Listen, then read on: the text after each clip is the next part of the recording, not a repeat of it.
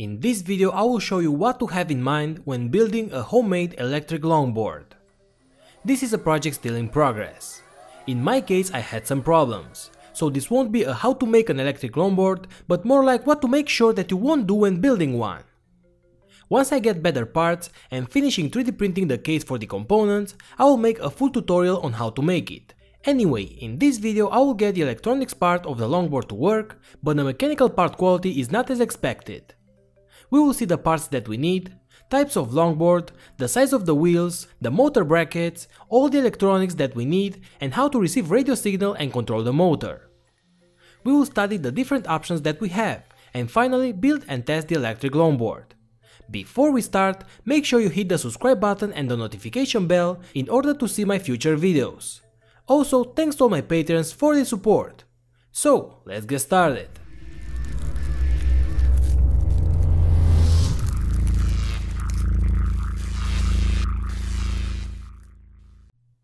What's up my friends, welcome back.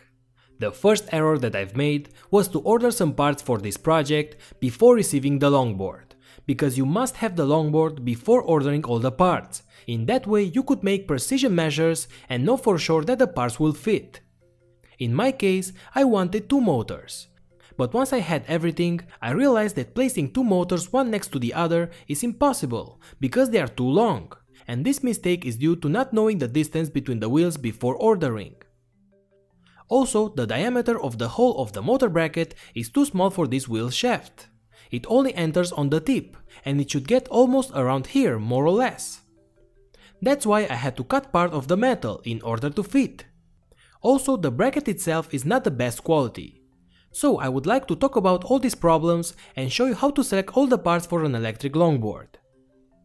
This is what we need for this project. First, of course, the longboard. I've bought mine for very cheap from Amazon, just around $60. If you are able to get all the longboard parts separately, that will be even better. In that way you can select the shaft that you need and the correct size of the wheels. I bought a few types of wheels to test them, so in this way you won't have to do that. I realized that it's a lot better to just buy the wheels that already have holes, because later we will have to screw the pulley on these wheels. For example, the stock wheels of my longboard are fully filled and made out of plastic and silicone. So I would have to drill holes through the entire wheel and that might break the wheel or maybe not be centered enough and move the pulley around and give any other kind of problems. That's why I've also tried this kind of wheels that already have the holes so you could pass the screws of the pulley very easy. Another thing that I've noticed is that the width of the wheels should be a little bit smaller. Because after you place the pulley, there will be very little space left, so you might want to use big diameter wheels, but the width of the wheels not that big. Then we need the pulley system. For that I've bought this kit that already has the screws that you need, the pulley and the belt ready to use. The pulley gets screwed directly on the wheel without any nuts since it already has threaded holes and the small one gets fixed in place on the shaft of the motors with 3 small screws as well. This pulley system seems to be quite good. The thing that I'm not quite satisfied with is the support bracket for the motor. First, as I said before, the hole was too small for the shaft of the wheels, so I had to cut part from the shaft and that is not recommended. Also, the entire support is too thin and will get fixed in place using 3 simple screws. When I've made a post on Instagram, a lot of you guys told me that these supports are very bad. And it seems that yes, they won't last too long. So you should have in mind to look for stronger and better made supports. I would really like to have a good CNC machine to mill my own parts out of aluminum. Okay, now for the electronics, we need the battery pack that we have made in a previous video. Links for that video are below. But if you don't have that battery pack, you could also go with some 6S LiPo batteries. Okay, so then we need the ESCs. A lot of you guys recommended me the VESC. Since I'm using quite big motors and I've already used this kind of ESCs in my electric scooter project, which by the way is still a work in progress, I know that this ESC from Racerstar behaves very well. It could deliver up to 120 amps continuously, it has its own fan to keep it cool, and it could get both forward and backwards. All we need is to supply power and the PWM signal to the signal pin. Next we need a powerful motor, and for that I went with the N5060 Outrunner brushless motor. It is very powerful and it is a 400 kV one.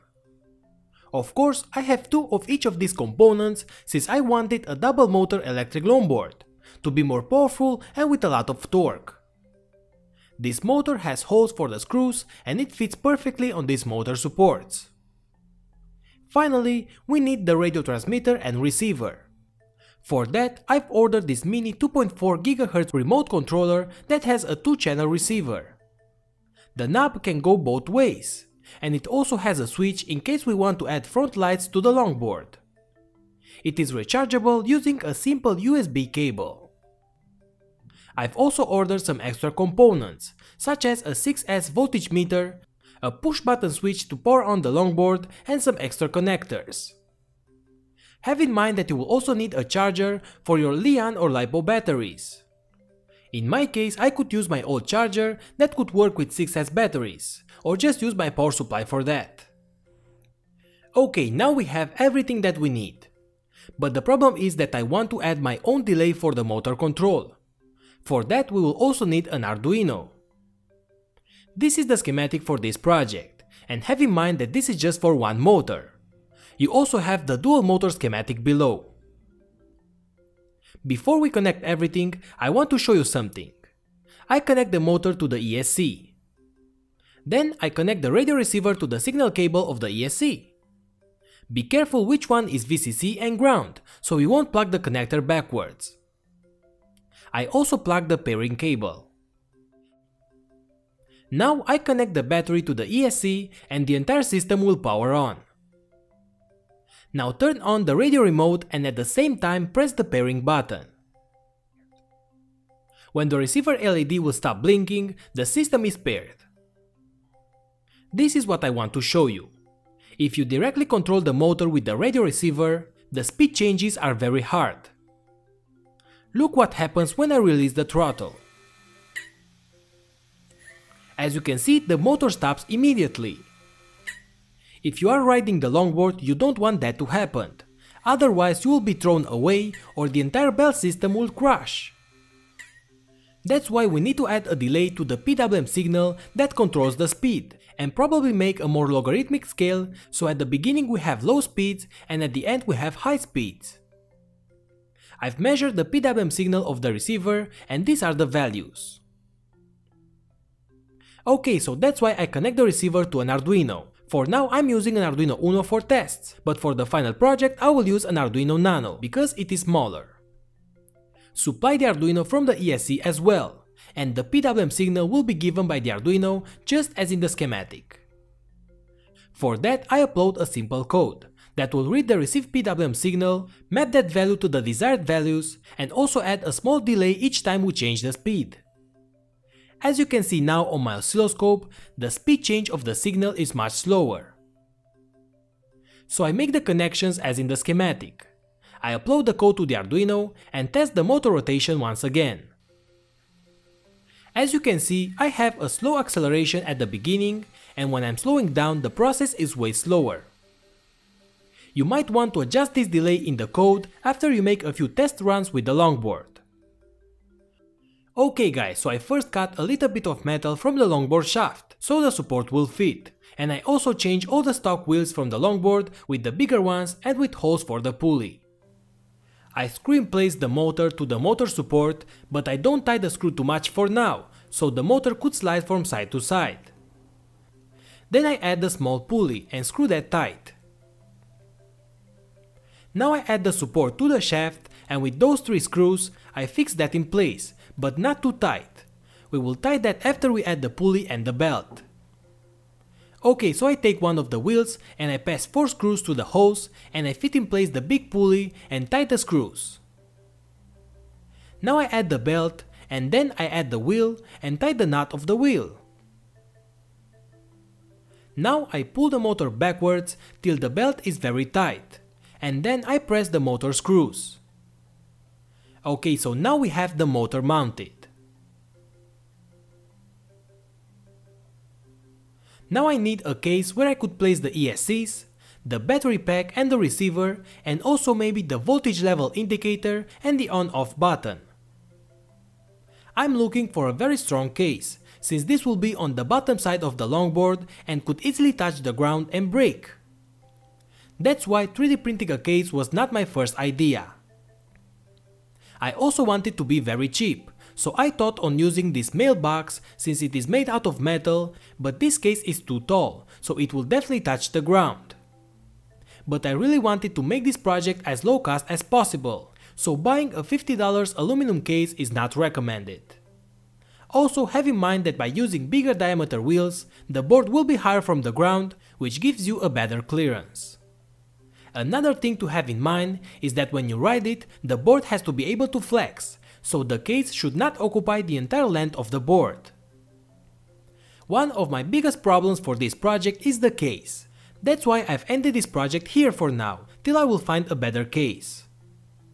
Right now I'm 3D printing a case for the battery and one for the electronics, but this is like a 15 hour sprint for each part so stay tuned for the next video where I will put all inside of the 3D case and make a test of the longboard as well, and see how bad or good will the motor support handle the ride. For now, the part that most preoccupies me is the motor support bracket, it doesn't seem very strong. I'm sharing the links for all the parts below of this video. The ESCs and the motors are very powerful, are water resistant and the ESC has its own cooling fan. For now, we know that the electronic system works, but in the next part we will see if the mechanical part will also work. You have the schematic, the code that I've used, and also the 3D printed parts and all the dimensions below in the description. So check the links for my webpage electronoobs.com. If you like my videos, consider supporting my channel on Patreon. Also make sure you subscribe and activate the notification bell for future videos. Also click the like button like crazy and share this video with your friends. And remember that your help on Patreon means a lot for me and will keep this kind of videos going. So thanks again and see you later guys.